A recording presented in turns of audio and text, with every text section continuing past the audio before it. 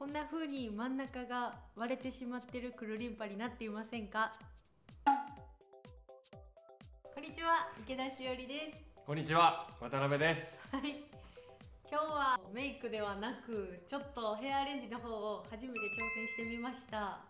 まあ初めてちゃうけど まあ最近で言ったら初めてやな。はい、はい。くるりんぱなんですけどくるりんぱのやり方で結構真ん中割れてしまったりとかなんだろうすごい一番簡単なやり方なんですけど意外とこううんあんまり綺麗に見えないなんだろうバランスとかも意外と難しかったりするのでそれを綺麗に見せる方法というかやり方ちょっとしたコツなんですけどそれをやってみました。それでは動画スタート。ブロッキングをしていきます。サイド少し残しながら面をしっかり整えてボンノクボの下のところでまとめていきます。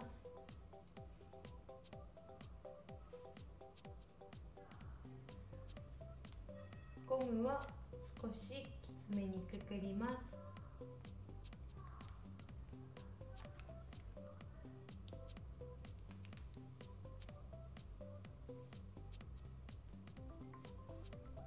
ゴムを少し下にずらします。で真ん中に空洞を開けるのではなくやや横から空洞を開けてくるりんぱしていきます。髪の毛を通す時もゴムの部分を持ちながら通してあげるととてもやりやすいです。横に引っ張ります。ほぐしていきます。サイドから通したことによって真ん中が割れにくくトップが立ち上がりやすくなります。ほぐす時もゴムのところを持ちながらほぐすとやりやすいです。でサイドをほぐしていきます。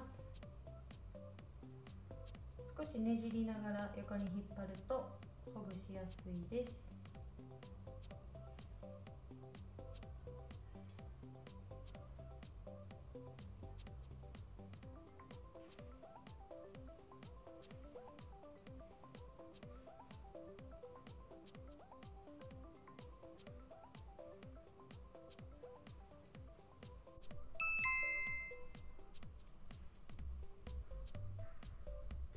くるりんぱがなかなか綺麗に決まらない方形が難しい方このやり方ぜひ試してみてください。さよなら。